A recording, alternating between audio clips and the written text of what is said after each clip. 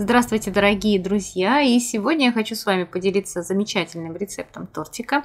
Чем-то он напоминает фрезье, но по своему составу он намного легче. Ну что ж, давайте будем начинать. Для бисквита нам понадобится 5 яиц, 150 грамм муки, 150 грамм сахара, 80 грамм сливочного масла и щепотка соли. Яйца отправляем на паровую баню. Ваше дно миски ни в коем случае не должно касаться воды. Засыпаем сахар и теперь будем непрерывно помешивать. Нам нужно добиться, чтобы сахар полностью растворился растворится. Как это проверить? Просто протираем яичную смесь между пальчиками. Если вы не чувствуете крубинок сахара, значит ваша смесь полностью готова.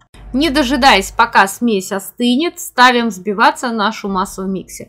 Нам нужно добиться хорошей, плотной, пышной белой пены. У меня на это ушло 5 минут, но вы ориентируйтесь на мощность вашего миксера. Вот такая приблизительно у вас должна получиться смесь, э, хорошо держаться на венчике и быть очень достаточно плотной. За один, как сделала я, самое главное, хорошо размешать, чтобы не было комочков в нашем бисквите, ну и, конечно, чтобы масса опала как можно меньше. Мешаем нашу смесь, как всегда, по часовой стрелочке, слегка подрагивающими движениями, для того, чтобы распределить муку как можно лучше по нашей смеси. Как только размешали всю муку, вводим наше сливочное масло, топим его в микроволновке и смешиваем с несколькими ложками нашего теста. Для того, чтобы нам было удобнее его вмешать и чтобы наша масса опала как можно меньше. Еще раз все хорошо вымешиваем до полной однородности, выливаем наше тесто в форму 20 э, сантиметров диаметром и выпекаем при 180 градусах приблизительно 25-30 минут.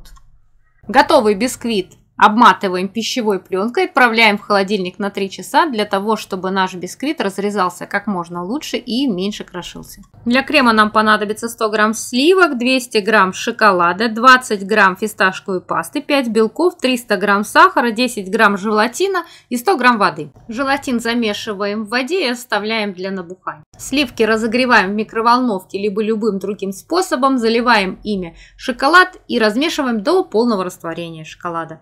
Белки взбиваем с сахаром и щепоткой соли приблизительно 15-20 минут. Нам нужно добиться хорошей плотной меренги. Вот такая приблизительно у вас должна быть консистенция. Меренга должна быть плотной и хорошо держать свою форму. В очень охлажденные сливки с шоколадом добавляем фисташковую пасту и отправляем взбиваться в миксер приблизительно на 5-10 минут. Тут все зависит от вашей мощности. Наша масса должна увеличиться в объеме приблизительно в два раза. Вот такая приблизительно у вас она должна быть по консистенции. Теперь постепенно начинаем добавлять наши взбитые белки. Делаем это в несколько этапов для того, чтобы белки как можно меньше опали и наша смесь была как можно более пышной.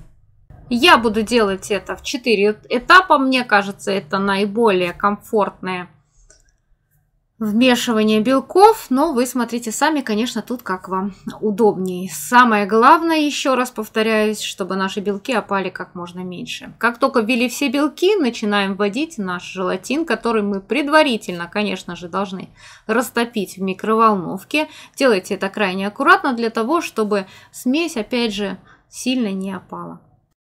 Для того, чтобы крем имел более красивый, насыщенный зеленый цвет, добавляю каплю зеленого красителя, но делать это абсолютно не обязательно, так что если не хотите, то можете и не добавлять. Теперь займемся сборкой торта. Бисквит разрезаем на три части, также подготавливаем 500 грамм клубники, я ее предварительно вымыла, срезала попки и разрезала пополам на э, ровные части.